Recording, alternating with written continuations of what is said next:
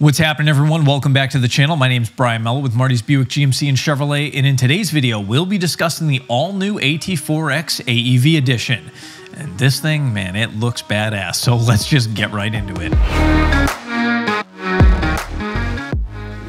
All right, so GMC dropped a new truck on us this morning, the 2023 Sierra AT4X AEV edition in partnership with, of course, AEV.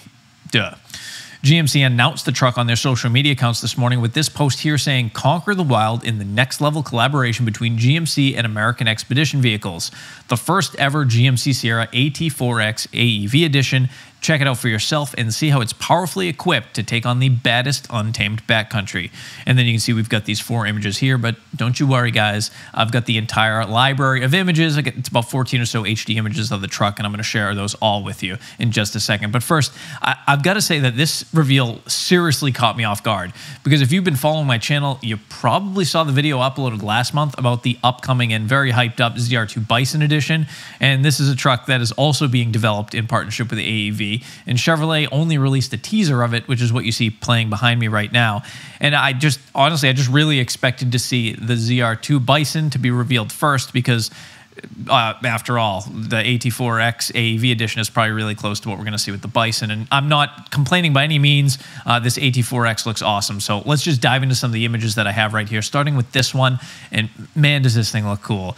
Obviously, the most dramatic change we're seeing to the front end of the truck is the high clearance AEV stamped steel front bumper, which is also corrosive resistant thanks to AEV's powder coating process.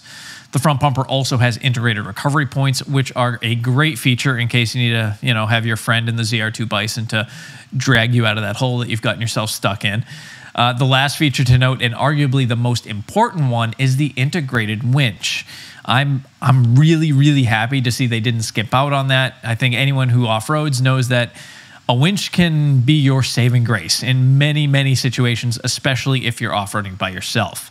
Going around to the back of the truck, we get a look at the stamped steel rear bumper, which also improves approach angles, has integrated recovery points, and comes powder coated for optimal corrosion resistance. And then underneath the AEV edition, we have hot stamped boron steel skid plates, which, according to AEV and GMC, they are three and a half times stronger than the equivalent cold stamped high strength steel plates.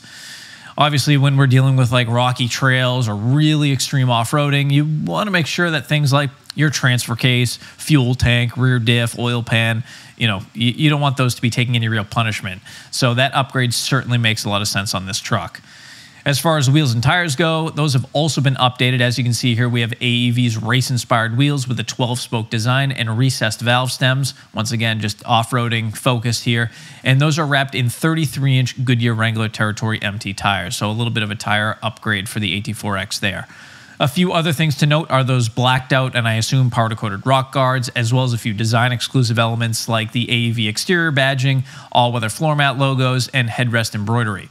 We've got a blacked out upper tailgate section, blacked out door handles, and the front fascia and grille do appear to be slightly different with a gloss black upper section and then dark nickel inserts all in all, I mean, I think I think the truck looks spectacular, and I'm starting to think that GM has actually made a really good move here by marketing themselves as the overland or trail truck brand rather than the off-road race truck brand like you know Ford with the Raptor or Ram with the TRX. Now, obviously, this truck doesn't need much in the way of suspension upgrades since it will come with the AT4X's DSSV Multimatic suspension system.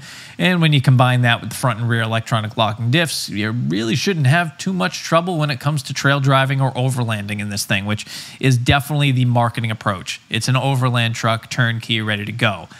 One thing, of course, I'll be interested to see is the price point. The AT4X starts at 76,500, so I am expecting at least like an 88 to $90,000 price tag for the AEV edition, but we'll just have to wait and see. GMC didn't provide a release date. Other than that, it will be available early 2023. But let me know in the comments below what you guys think of this thing the likes, the dislikes, everything in between. If you made it this far in the video, if you could help me out by just smashing that like button, subscribe if you haven't already for fresh General Motors related news and content every single week and I will see you all in the very next video. Thanks again for watching, guys, and have a great weekend.